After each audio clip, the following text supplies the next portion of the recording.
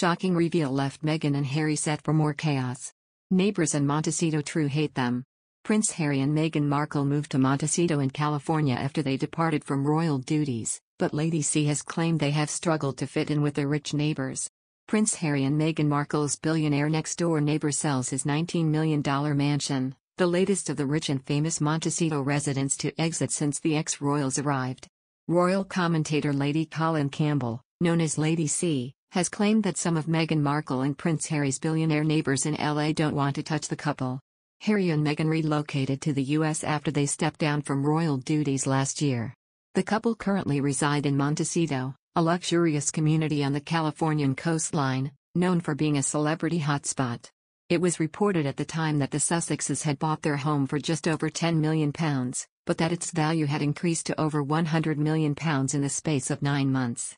However, speaking on her YouTube channel, royal commentator Lady C has claimed that the pair are yet to settle in with some of their rich neighbors. Last night, I was at something in London with some very very famous stars who have a place in Montecito. And of course, Meghan and Harry's names came up, she began. And they told me what I have been told by other friends of mine, who know the Montecito scene or have places in Montecito. One of them said, and I quote, everybody in Montecito hates them, actually her, they don't care that much about him, he's negligible. And the billionaires don't want to touch them, nobody wants to touch them.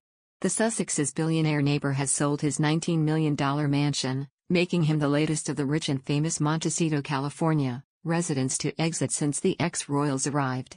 Peter Sperling, son of University of Phoenix founder John Sperling and one of the 400 wealthiest Americans, sold his seven-bed, 13 bath property in the Duke and Duchess of Sussex's private Southern California neighborhood in April this year, deed documents show.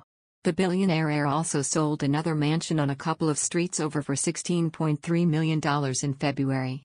His two sales follow actor Rob Lowe, who also ditched his home in Meghan and Harry's neighborhood in September last year. The home is just yards from the Duke and Duchess's property and sits on 5.56 acres of land. Sperling was so keen to sell his Garden Lane home just a few doors down from Harry and Meghan that he reduced the price by a total $7.65 million. The billionaire's departure makes him the latest of the rich and famous Montecito, California, residents to exit since the ex-royals arrived. Meghan Markle and Prince Harry, no longer committed to royal work, have begun to embrace their new celebrity lifestyles. A visit to New York where they were hosted by the city's mayor was shortly followed by the announcement that they had agreed to become impact partners at a sustainable investment firm. With an increasing number of commitments, this has led one commentator to suggest that the couple's bosses are becoming nervous that they are spreading themselves too thin. However, this hasn't prevented Meghan from reintegrating herself with U.S. politics. The former Suits actress recently penned a letter to the U.S. Congress under the title Meghan, the Duchess of Sussex, where she called for paid parental leave across America. One commentator claimed that this move marked the launch of the Duchess of Sussex's political career, meaning a royal return is not imminent.